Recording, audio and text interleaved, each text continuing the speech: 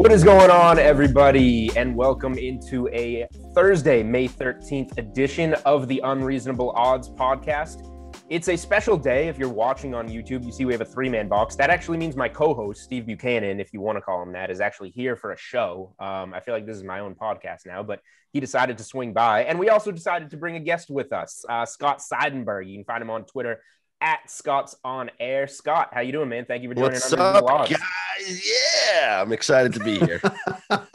um, we are mostly going to uh, to cover some MLB today, which is obviously Steve and Scott's wheelhouse, and I'll sit here and look pretty. Uh, maybe say a couple of words. I'll close up with some NBA uh, NBA thoughts before the regular season winds down, and we get this cool play-in tournament next week. Which uh, hoping we will have a special edition of Unreasonable Odds on Monday for you, touching on that play-in round and the playoff matchups in the NBA. But before we get to MLB, we are going to play the game that we have been playing recently with guests called Know You Better. I remembered it this week. I forgot to do it last week and threw it in in the middle of the show. We're actually with it. Um, but it's I, I, was the host, Steve isn't here. So if I want to do things backwards, I can do things backwards. Certainly can. Thank you. Um, Scott, are you ready to play some Know You Better? I hope I am. Good answer. um, all right, and w- you don't need to say dollar amounts in here or anything, but just your biggest win and or your most memorable win in your sports betting career. Um, biggest win, most memorable win. Highest I mean, plus odds, however yeah. you want to interpret it. Okay. Um, I did hit an eight-team hockey parlay earlier this season. um, and that was. I don't think you need to go any further. That was. it was not only was it uh, ridiculous, but one of the legs was actually, um, I remember, I think it was, uh, I think it was Detroit. Anyway, the goal was scored with 3.5 seconds left uh, to give me one of the wins. Now, when it's the second win of an eight leg parlay, you don't pay attention to it. Right. When yeah. it's the eighth leg of the eight team parlay, it obviously magnifies everything. And I just remember, uh, you know, screaming at my television, 3.5 seconds left, watching the goal go in um, and, and being very happy about that. There was an eight team parlay earlier this season. And then I also, there was a, a nine team parlay that I hit not obviously he already loves you. I, this is my guy. this is listen. First of all, when you bet a parlay, obviously you're betting within your means, right? It's only a sprinkle. It's a little bit here and there. You're not doing a full unit because you're not you're gonna go broke if you keep doing that. But it was not this past NCAA tournament, and obviously last year we didn't have it. It was 2019. In the first round, I had done a, a large parlay, and I do it always for the first two days, first four days actually of the NCAA tournament, because those are the days where you could really predict the winners more. I know there's upsets, but for the most part, when you're betting the NCAA tournament, right, you're gonna pick like think about the average person that fills out their brackets. You're gonna get 13 out of 16 correct in terms of just winners. I mean, unless you're really bad at picking these games and you don't know anything about college basketball, you should be able to get at least 10 out of 16 winners. I and know so, plenty about college basketball and I'm awful at picking this. well, I was fortunate to get a, a, parlay there. So those are my two biggest parlay hits. Um, in terms of future odds, there's a couple of uh, you know NFL draft stuff that I had hit that was pretty good. This past NFL draft, I went very heavy on Waddle over Smith, which made me uh, very happy. I had uh, that one. Yeah, that was one of my that was my biggest liability going into the NFL draft, just because of everyone that I talked to was, you know, yeah, all Waddle. Um, so that was my biggest liability. So I was very happy about that. But you know what's crazy about sports betting, and you guys know this we always remember the losses more than the wins. I can I, I mean, right now, like I told you, I can't remember what game that was that I won that the eighth leg of that parlay. But I'll tell you right now, I remember pitch by pitch what happened two, three years ago in the worst loss of my betting career. Yeah. When hold it. What, okay, you want we're me to talk about it? Because I'm because it still gets me. I still have pains thinking about this game we will you're you're good at this segment. We will we will get there. Actually but before we get to the next question what kind of do you remember what kind of plus odds are we talking on this eight and nine leg wins? Oh, it's got to be uh, insane. yeah uh, 13 and thir- 1380 and um the other one was 24 and change. There we go. There All we right. go Steve likes parlays. I Love parlays, but they have to end on the same day. I can't do multi-day, you know, BS. They have to be all the same day. I can't sweat, you know, 48 hours at a time. That's not for me. Well, Steve, are you the type of guy also that can only do the same sport parlay? Like, will you do an NBA game with a baseball a game with a hockey game? Or will you just only do, you know, three hockey games? One sport, one sport one only. sport. Okay. I, Yep. you know, see, I like Steve because he's like me. We focus on one thing. Give me three baseball games and that's it. We're not cross That's sporting. it. That's it. I will tease the Thursday night football game with the Monday night football game and gladly wait for my money. But That is absolutely insane and stupid. But go ahead. You should be locked Okay. up in an institution. sorry, sorry, guys. I'll hop in my straight jacket after this. Um, your worst bad beat. Yeah, worst bad beat. Sunday night baseball three years ago. Nationals. Cubs. Uh, Max Scherzer on the mound. Um, I had had a very bad week and Yeah. was chasing. And you, you know, listen, it's a, it's one of the worst things you can do in sports betting uh, is chase losses. Uh, Scherzer on the hill. Sunday night baseball in Chicago against the Cubs. I am all over the Nationals. It is just I have just more liability than I've had in a long time. Scherzer goes eight shutout innings. The Nationals take a 3 nothing lead going into the bottom of the ninth inning. Okay. Oh, There no. are two outs and nobody on base. Hit by pitch. Okay, no problem. Man on first. Let's just make the play, see what happens. Single. Okay, single. That's fine. Oh, by did I mention it was a two strike single? Two strike single. Oh, and it was a two strike hit by pitch the batter before him. So two outs, nobody on, two strikes on the batter, hit by pitch, man on first. Two strikes, one man on first, still a three nothing lead, single, Jason Heyward. Two outs, man on first and second, two strikes. Actually, it's a 3 2 count on the batter, hit by pitch again. Now the bases are loaded for pinch hitter David Bote, who gets down to two strikes and hits a walk off grand slam. Cubs win 4 Was 3. this was this still Scherzer on the mound, or did they go to the closer? No, no, no, no. This was, uh, you know, it was, it was not Scherzer on the mound. Um, this was, uh, it wasn't. I was going to say you must know this guy's name. You must hate him. I'm have- trying to think who the who the Nationals closer was three years ago. They've gone through a lot.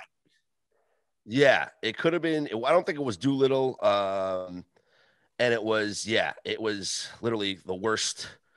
Uh, as you can Google, as I'll Google it right now, David Bote's walk-off grand slam lifts Cubs past Nats. Oh, even if it's even on Marquee Sports as a Cubs classic. Get to watch, guys. Brandon Kintzler, Oh, idea okay, yeah, yeah. No, I yeah, I know who Brandon Kintzler is. Yep. a ground out, a pop out, a couple of hit by pitches later in a single, and Bote stepped to the plate and quickly fell behind the count. Nationals reliever Ryan Madson delivered his fifth out uh, offering, a fastball to the knees that Bote was able to get underneath and send the ball into the bushes just over the 400 sign in center field. So it was Ryan Madson who gave up the home run. And All right, Bote well- has Bote has 26 career home runs in 281 games. Not a power hitter at all. Unbelievable. And you can imagine the odds, by the way, with Oh, Scherzer yeah. on the mound. Right. And this was Yep. this is this is not Scherzer. Granted, we saw Scherzer against the Yankees be old Max Scherzer. Yeah. This was three years ago, Max Scherzer, and that's what the odds were. Still remember that, and it still burns me to this day. All right. Well, that is a that is a bad beat. um, the worst adv- the worst sports betting advice that you feel you've ever given. That I oh the worst sports betting advice I've ever given. Um, Lay it on Max Scherzer that night. yeah, yeah, probably no, no. It all links I- back. uh, you know what? It's the best sports betting advice and the worst sports betting advice that I've given, and I still give it to this day. And it's bet against Jacob deGrom every time he pitches. Again, it's the Heard a rumor about this. It's the best advice because it's a simple math equation, right? The Mets are going to be minus 200 plus every time he pitches. Since 2018, he has the best ERA in Major League Baseball. Since 2018, the Mets have a losing record in his games. So it's a great, it's the best betting advice I can give you. It's also the worst betting advice I can give you because you're betting against the greatest pitcher in baseball over the last three years. And yeah. you're going to watch these games and you're going to watch the team that you're actually betting on get struck out 12 times and get three hits. And you're just hoping to scratch across the, a, a, run in the eighth and the ninth against the bullpen. So it's both right. the best advice and the worst advice I'm giving. Okay, I'm gonna like skip that. around here because I feel like it connects. I was gonna I was gonna lead. so we asked people, are there any trends that you like to follow? And I was gonna say, I know you're a fade deGrom guy. That's kind of yes. a trend that you like to follow. So outside of fading deGrom, is there anything else like that that jumps out to you that you kind of generally second, ride, even though it doesn't feel right? Yeah, second game of a doubleheader. I'll bet the team that loses in the first game. Always. Okay. I don't. I mean, it's it's one of those auto fires for me. It's just it, I, it's very hard to sweep a doubleheader. The numbers correlate yeah. to that. So the team that loses the first game of the doubleheader, I always fire on the second game of the doubleheader, regardless of the odds. All right, I like it. Um, Usually, because you know what happens too. A lot of times, the team that wins the first game of the doubleheader will sit guys, yeah, for the second yeah. game of the doubleheader, um, just you know, so they get the rest before they play uh, the next day. Especially if they have a game the next day. If it's an off right. day the next day, then you got to watch the lineups. But if they do have a game the next day, I'll go and I'll just auto fade the winner of the first game. All right, I like that. Um, the team that you have won the most on, the team that you have lost the most on. Who can you not stop betting whether you're you're winning or losing on them? Uh, it's the Mets. I think I've lost the most money betting on the Mets. I don't think I've ever won money betting on the Mets. And it seems when I bet against them, they always rise up to the occasion and win games. Uh, and I'm a Yankee fan, so like this like burns me. Like you know, like the Mets are like just the natural team that I don't like. Uh, and it's not so much that I don't like them. I do want them to do well. I just can't stand their fans um, which we've all encountered those fan bases. But yeah, they burn me every time. It really is strange. Um, they find ways to win when I bet against them. They find ways to lose when I bet on them, which is where the deGrom fade actually was born from uh, several years ago when I just decided that I can't trust this team to do anything. So I'm just going to bet against them every time. The team that has won me the most money, uh, the Vegas Golden Knights.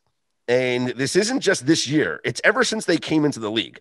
So Vegas is like a second home for me. I have family there. Uh, my brother is out there. And when they came into the league, my sister-in-law is Canadian. So uh, my brother, his family they became very entrenched in the Golden Knights, very big fans of of the team, season tickets, all that stuff. And so I was just betting the Golden Knights ever since they came into the league. And what do they do? They go to the Stanley Cup final in their first season. And I made a lot of profits on the Golden Knights that first year and uh, this year as well, especially on the puck line, betting on the Golden Knights. They've been very good. Sounds like hockey's been pretty good to you. Yeah, uh, hockey's been good, and I feel like I should dedicate more time to hockey, but I don't. Uh, I kind of I, I, look. I watch a lot of hockey, and I, I watch a lot of every sport. But um, baseball and hockey are the two sports that I actually buy the package for, so I can watch every game. Um, I don't do that with the NBA. Um, you know, I don't, I don't, get NBA League Pass. I, I, get I get the hockey package. I get the uh, the baseball package. So I watch a lot of uh, games. And a lot of my handicapping just comes from feel with hockey as opposed to doing the actual research, which is why I don't really give out hockey plays a lot on Twitter because I don't consider myself a, a hockey expert gambler. It's more of a feel thing for me, just being as a fan watching the games. Whatever works, man. Um, all right. I mean, you passed the test. That was a good segment. Uh, yeah. enjoyable. Take your uh, take your victory lap. Um, all right. So MLB this season, I mean, I'm not going to pretend like I know what's going on. I threw out I hadn't I hadn't thrown anything out on Twitter for a while. I threw four first five plays out the other night. I went 0-2 and 2. Um, okay. I'm going to stick to NBA. So I'm just going to let you guys talk baseball. I know Steve has some stuff going on and uh, yeah. wants to talk about that. So go ahead. Scott, so I, the one question I wanted to ask you, because we definitely saw this to start the season, is that um, underdogs were crushing it in the month of April. And I think since May has come around, that's starting to even off a little bit. So now, so far on the season, favorites have, uh, you know, obviously they were always in the lead, but hitting at 55% on the money line. Uh, dogs are at 44% now. How much does your strategy in betting if it does at all, change from April to May? Because I feel like April is, especially with baseball, because I, I, truly feel baseball is by far the hardest sport to bet on. I, I feel like yeah. there's so many variables. You know, uh, we see a lot of underdogs win more often in baseball, but does your strategy change from April to May? Because I feel like we kind of see this trend every season where dogs who we can get at really good prices a lot of times are really the, the bets to make early in the season and then it kind of levels off as the seasons go on. Do you feel that that's true? And if so do you kind of change up your strategy as the months start to go on? Well it is true because at the beginning of the season we don't know too much about these teams. I mean, you, there's only so much you can judge by spring training, and I use a lot of spring training to handicap those early games, especially for pitchers. Now, yeah. I'm a I'm a pitcher handicapper. Okay, so when I go and I do these games, I'm really focused on the pitching. Uh, I know some people will throw out, you know, uh, expected runs and all these things. You know, that that's right. not me. I'm focused on the pitchers, um, which is why I do a lot of first five bets as opposed to full game bets. Yeah, you know, banking on the starting pitching.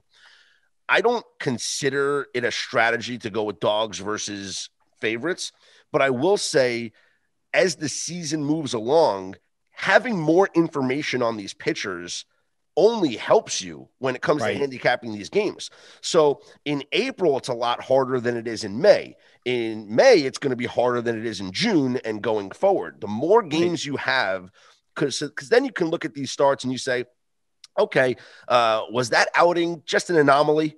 You know, did, right. did, like like early on. Okay, Brad Keller from the uh, from the Royals gets rocked in his first start. Okay, and you expect, hey, this guy is going to be an auto fade this year, and then right. he follows up with three really good performances, and all of a sudden right. you're losing because you're betting against him or you're betting the over and it's not hitting. Uh, but now you're getting more games on these pitchers. It's just more information to digest. And I think that's what makes it easier as the season progresses. They always say guys play to the back of their baseball cards, right? Um, I don't necessarily agree with that because each year is different, each stretch is different. A guy right. could be on a hot streak, you got to ride that hot streak. A guy could be on a bad streak, you got to ride that bad streak. You can't just go by their averages. So the more information you have on them to kind of see how they've been the past couple of outings, see how they do against certain teams, see how they do in certain ballparks or in certain roles, right?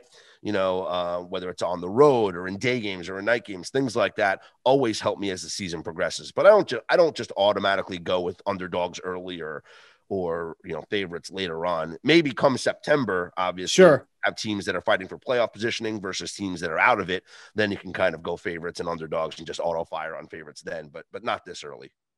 Yeah, I mean the Red Sox have been one of the most profitable underdog teams so far this season. They're eight and three as underdogs this year, straight up, which is incredible because this team was coming in with little to no expectations, and especially in the AL East, a lot of hype around the Blue Jays. Obviously, a lot of hype around the Yankees, who were scuffling for a while. But at least, like for me, you know, I do like trying to take in some of those underdogs. I think there's so much mispricing in the month of April. And a lot of what you said is a big reason for that. So, like taking a team like the Red Sox, who, you know, especially through the first couple of weeks of the season, were primarily underdogs. Yeah. There is some exposure and there is some leverage to get in those spots. Well, I want to I, I want to add on one one piece to that question too, because yeah, like do, do you think that that means like because the Red Sox are eight and three as underdogs this season? Do you think that even means anything as the season goes on? Because we've now learned that the Red Sox are kind of good and those eight and three were basically that like nine game winning streak that they had in the first yeah 10 days of the season. So does it even mean anything? Because now they're going to be minus right. 130 in those yeah. they were plus 130 in before.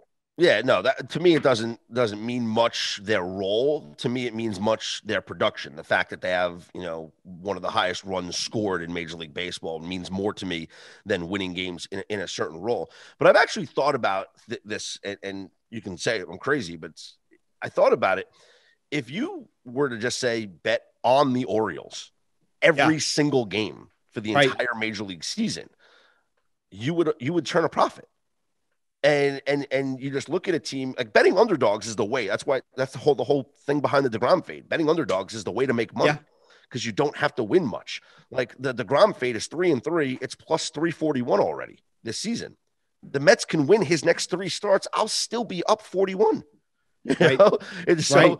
it's, I thought about it with the Orioles, right? Because they were predicted to be one of the worst teams in Major League Baseball. If they go 62 and 100, okay, then, you know, that's a very bad season, okay? But that's still, you would turn a profit. You would actually turn 20 something thousand profit, uh, 2000 something profit, excuse me, if you're a $100 better on every game. Because if you look at the average money line against them being plus 150 to plus 200, you're going to make your money over the course of the season.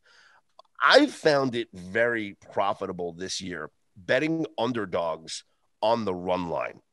If the juice is not too high, right? If you have a, a big enough dog where the juice on plus a run and a half is under 150, I love those bets. Love them. Absolutely love them because it gives you that wiggle room that they can lose the game and you still win and you're not paying so much. Now, I wouldn't recommend paying minus 200, but if it's minus 150, minus 140, minus 130, even money, I would do it because it's it's baseball is such a weird sport where it it does not matter how good a team is. It does not matter what the record of the team is. What do they say? Momentum's only as good as the next day's starting pitcher, right? Yeah. So you throw a guy out there, John Means comes out there for the Orioles. The Orioles have a, a lineup where you, the only player you know is Trey Mancini, and they're going up against the like, like they could be playing the Dodgers. Who cares? You know, if a pitcher goes and shuts somebody down, they're going to win. Or, yeah. or maybe they go into you know extras and don't even get me started on extra innings. Um, but I love that. That's one of my favorite Major League Baseball bets is taking an underdog on the plus one and a half run line. Speaking of uh, of extras, and this is I also want to get your your opinions on this one. The over under has been basically a coin flip all season long. The over has hit forty nine percent on uh, on regular games that uh, end in um, regulation. Under is at fifty point five percent for extra inning games. The over is hitting at just under sixty percent, and obviously, you know, big reason why man starting on second Mm-hmm. It almost feels like a given at this point. If you're right there and this game is going into extras, you're most likely hitting the over at this point, and the numbers kind of back that up. How are you feeling about the over under this year? Because there's been a lot of talk about hitting across the league down and not just down, down by a lot. Like yeah. a lot of teams are not hitting for power. We have pitchers, relief pitchers that are consistently coming out. Like the average velocity on on pitches right now, I think it's at like 94 or 95 mm-hmm. miles per hour. Like it's huge so many teams have guys now that just come out and just naturally throw over 100 miles an hour. And I have not been doing well on over unders this year. That's usually my strong point is mm-hmm. over under on team totals and on games. I've been getting de- decimated this year. Maybe that's just me. How are you doing on over unders?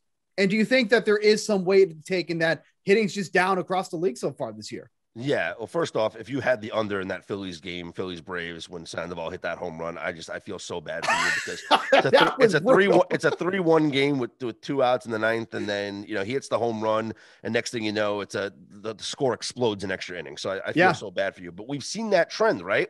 And if you're gonna bet, first of all, you can't bet an under. You cannot bet an under. I don't care about the scoring. You can't bet an under because extra innings is just yeah. going to automatically kill your bet. What you can do is bet a first five under. If you like an under, it's because you like the pitching matchup against the opposing hitting. Right. So why not just go with the first five innings, rely on that handicap, which is the starting pitching against the opposing hitters, very rarely are we handicapping bullpens when it comes to an under, right? right?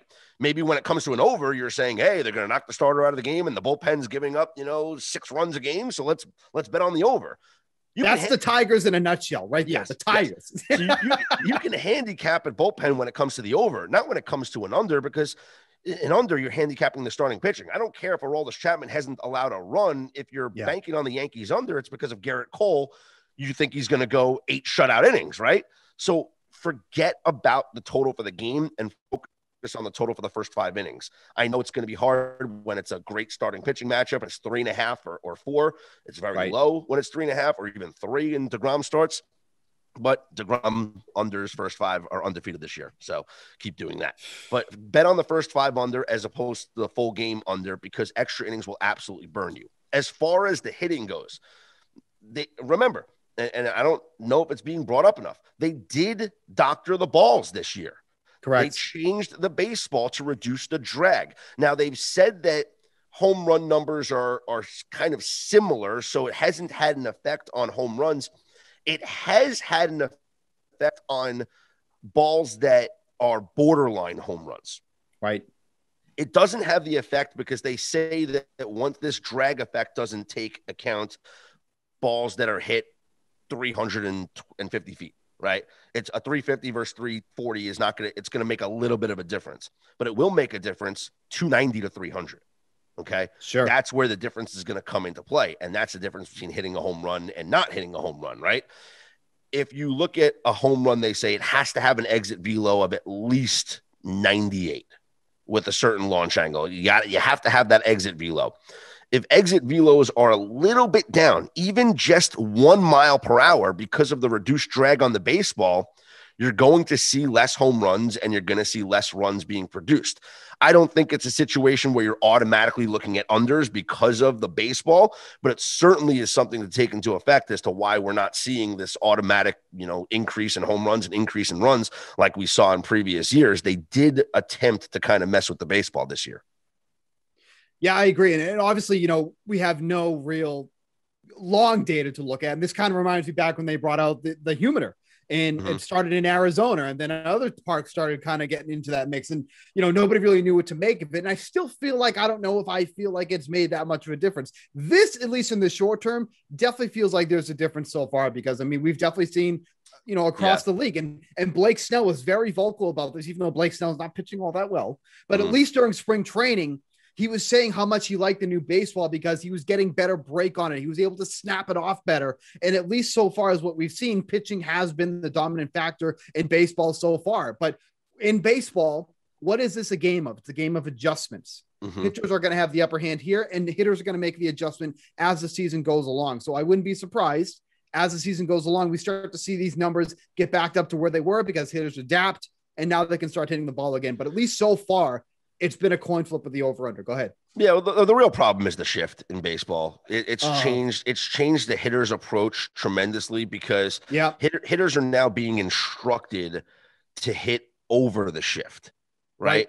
which is obviously leading to more swings and misses, which is leading to more strikeouts. And the analytics will tell you that a strikeout is worth the same as a flyout, worth worth the same as a ground out. Doesn't matter. So they say a strikeout. Who cares? No one cares about strikeouts anymore. Just go out there and try and hit a home run. Try and get it over the shift because you're not going to beat the shift to the sides. So you got to hit it over the infielders and get it into the outfield that's going to lead to more strikeouts. Um, you're not getting the same home run numbers as you were because of the, the, the reduced drag on the baseballs. And so, to me, it's just it all comes down to the shift, but everything kind of relates or correlates, I should say, to to that adjustment that hitters are trying to make because of it. And in the past, it worked because you swing with that uppercut, you're going to get the home run. This year, yep. it's just not happening as much. Last subject I want to touch upon, and I'm curious to get your thoughts on this one too, is betting at Coors Field. This Rockies team is so unbelievably bad. Yeah. With the pitching and their offense, no Nolan Arenado. So now they really just have what feels like Trevor Story in there. Who doesn't the do anything. exactly. So when you look at the over under in Coors Field so far this season, it's 10, 10, and 1. And yet, and even like today, the Reds are in town. The over under in this game is 11 and a half. Mm-hmm. I am consistently betting the under at Coors Field just because I do not I do not feel like this this Rockies team is going to make up the difference for what the away team is going to do. So I've been doing two things: betting the under at Coors Field almost consistently, but taking the over on the team total of the away team. I love that you said because, that because that's where that's where the over is going yes. to hit. So I that... look at a total like tonight at 11 and it's 11 and a half on the DraftKings Sportsbook with Luis Castillo and the Reds. The Reds have been a very good offensive team, but the, the but the Rockies have not. At what point are the books going to catch up on this? Because I'm shocked that it's 11 and a half for tonight. And on, on the DraftKings Sportsbook, that just feels so high for a Colorado team that is one of the worst hitting teams in the league. It just feels like it's because they have the Coors Field name attached to it. It's automatically going to be a double digit over. And yeah. at least for now, it's it's been somewhat profitable to take the under in those games. I, I love that you said the team total on the uh, road team because that's really where the value is going to come into play here. Yeah, uh, is betting on the team total. What's interesting is like I look at first five because I do a lot of first five bets. Yeah, and Colorado actually at home is averaging three runs per for the first five innings, as opposed yep. to away where it's only one run or one and a half runs. Um, so their offense is just very bad. But I would right. look at honestly, like if you look at the Cincinnati Reds, okay, and you want to look at their away total uh, for the season, big difference. Actually, it's very low. They yeah. don't score on the road. Uh, right. It's, it's one of those things where they're hitting very. They're one of the best not just F5, they're one of the best scoring teams at home in Major League Baseball this year. But on the F5, they're one of the best teams, you know, almost five runs um, yeah. uh, per F5 this year at, at, home is just insane. I actually think, yeah, they're the number two team in baseball right now, 4.29 runs uh, per first five at home, but only 1.7 on the road. Uh, it's it's a tough situation because you want to look at the team total going against the Rockies, but yep. the under, like you said, the full game under, that's the play. Yeah. Because the Rockies don't aren't going to score. The Reds on the road aren't going to score. And if the numbers are going to continue to be Coors Field high, the under is going to be the play. Right. Yep. Unless it goes I, to extra, unless it goes to extra innings, and then you're screwed. And then everything, and then everything's ruined. Absolutely. Now the, the, the Reds right now averaging um, 5.24 runs per game, 6.8 at home, 3.5 on the road. It's amazing. Massive, massive. That's yeah. it's a it's incredible. But you know, obviously, Great American Ballpark, obviously a very hitter friendly ballpark. But yeah, I, I, I actually saw that this morning and was shocked at how much of a difference it was. Mm-hmm. That's a massive, massive difference. All right, Julian, if you'd like to participate in the in the podcast, by all means. Well, uh, so now I want to bet an under on Cincinnati, Colorado tonight. I I feel like you guys both said the full game under is better, but while I was listening, I was like, I feel like I should bet the first five under. Uh, I don't know about the I, first five under. The only the only thing that concerns me is Chichi Gonzalez, right? because um, he has the tendency to give up runs. Uh, in his last outing, gave up uh, uh, seven runs in four innings. His inning, his outing before that, he gave up four runs in four innings. The inning, the outing before that, he gave up three runs in five innings. Yeah. Um, Reds first five is probably the play. How is I was gonna say how has Castillo been lately? I know he got blown up in his first start, and yeah, Castillo is you know uh, last out, yeah, four runs, three runs, four runs. Both of these guys give up runs. Okay. Yeah. And Castillo hasn't made it out of the fifth. Guys give up runs, so we're betting so, the under.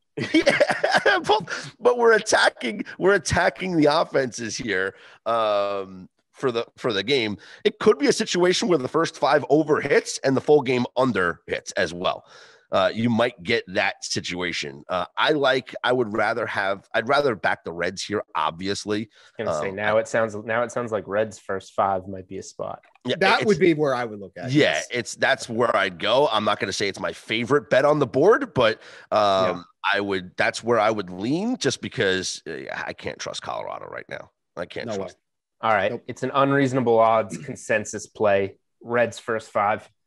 yeah, I'm down with that. Yeah, I'll do it. I mean, I'll just do it just to join, just to do it. You know, put it on the board. I'm, you don't. I'm, you don't have to threaten me with a good time. yeah. All right. Well, okay, great. Because I'm going to bet this.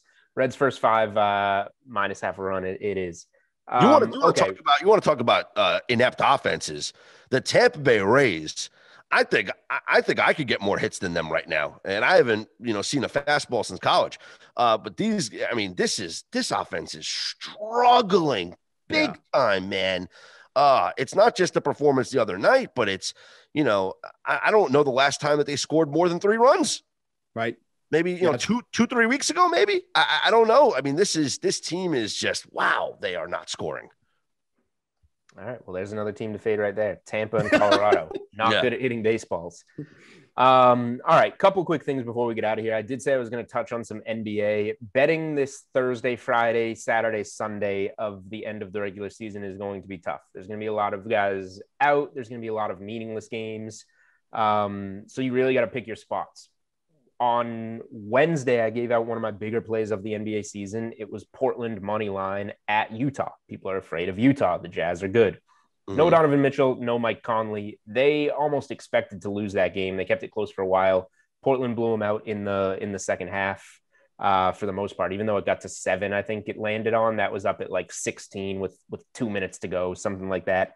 Those are the only spots you want to be looking for. I'm not even giving you any particular plays, but those are the spots that you want to be looking for down the stretch of the NBA regular season. The play in round is going to be fun, and I have some takes on the play in round. I just want to see that bracket before we uh before we get there. But like Thursday, for example, I don't necessarily see a spot on this card where one team is absolutely going to be going all out and the other isn't. That's at least in reason in terms of a spread. Like Memphis should beat uh, Sacramento, but eh.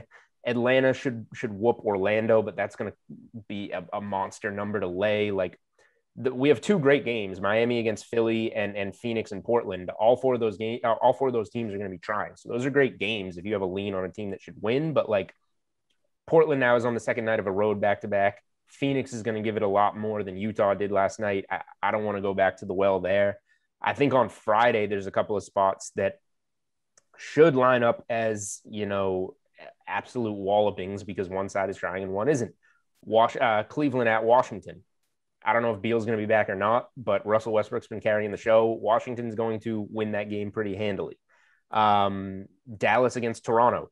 The Mavericks are still battling to stay out of that play-in line, not let the Lakers, uh, you know, steal their way out of the play-in that should be and Toronto's just completely given up. Um, you know, you've got like a Philly Orlando, but that's going to be like a 15 point spread in Philly. I'm trying to stay away from yeah monster numbers here. Let me ask you about uh, your opinion because this is one of the things that I love doing in sports, and you know, I do it in baseball and and whatnot. Mm-hmm. I bet against I bet against teams the day after they clinch. Uh, A lot of the times there's celebrations, there's you know resting guys, there's things like that. Uh, the Knicks clinched the playoffs last night uh, without playing. Okay. Yeah. They are not in the play-in round. They're in the playoffs. They can fight for seeding, right? Tonight they're playing against the Spurs, who are yes, the second night of a back to back. That's always difficult. Spurs lost to the Nets. The Spurs are not guaranteed right playoff spot right now. They still need to win to get the 10 seed, the the last play-in spot. The last play-in spot. Spurs are five and a half dogs tonight in New York against the Knicks. Are the Spurs a smart play tonight with the points, expecting them to play hard versus the Knicks, who might have had a little celebrating last night? And the Spurs, I believe, this is off the top of my head. I think the Spurs are 22, 12, and 1 against the spread on the road this season. They've been one of the best road bets in the NBA. Um, I don't know if I'm going to bet it, but the Spurs would be the side for me. My concern is if the Knicks are locked in enough um, to play for seeding because it's, it's, yeah. it's going to be a big deal. Uh, the six versus the five seed. It's basically, um, and you know, Miami's going to be trying tonight hosting Philly. Yeah.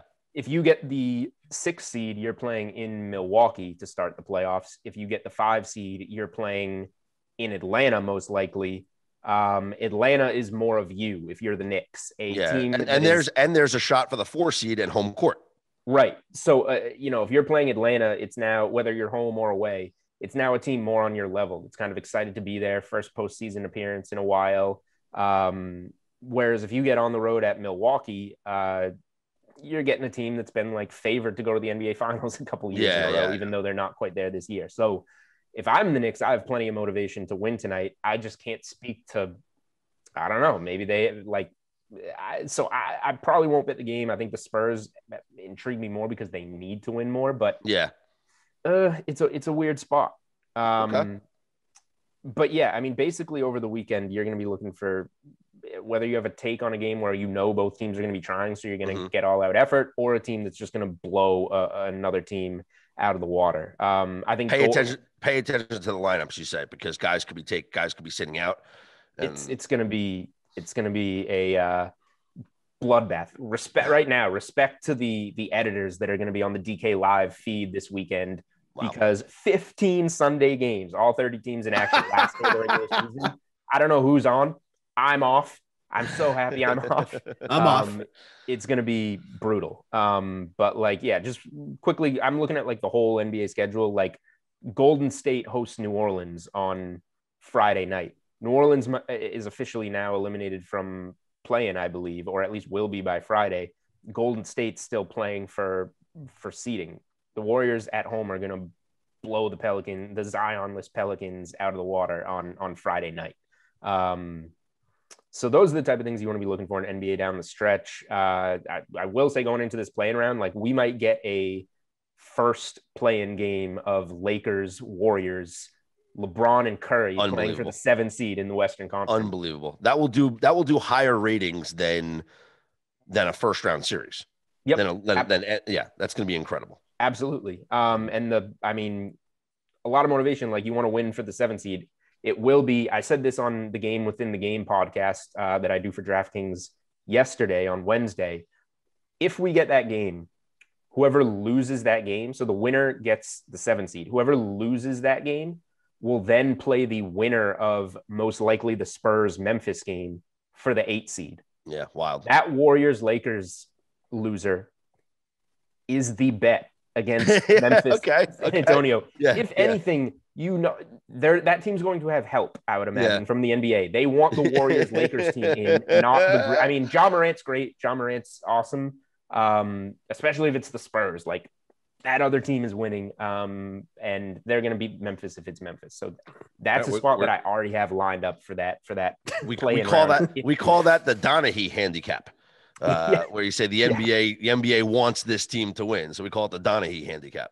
Yes, correct. We know which way that one's going to go if that spot does wind up presenting itself. Um, all right, real quick before we get out of here, Scott, I know you have uh, some stuff coming up that you want to give a shout out for with our good friends out in Vegas, VSIN.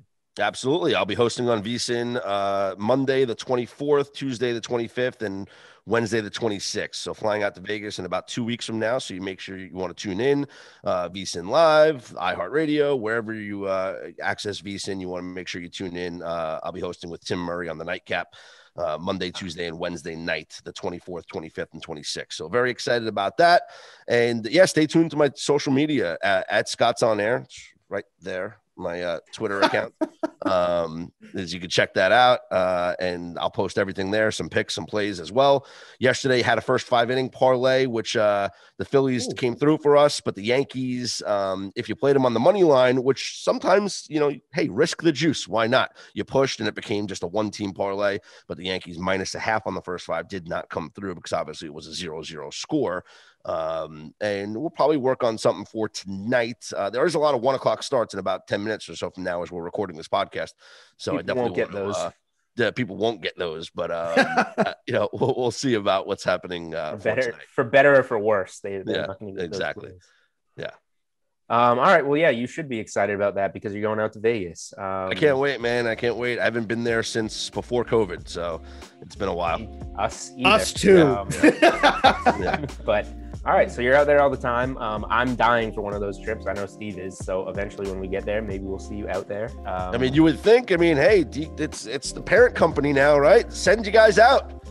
That's what we're saying. I don't know. I mean, tell tell everyone that you think it's a good idea, and we'll, we'll see you out there. um, all right, man. Scott Seidenberg, uh, you can follow him on, uh, as he said, on Twitter at Scott's on Air on Twitter. Uh, thank you for joining us on Unreasonable Odds, man. Thank you for having me. Anytime, guys. Thanks, dude.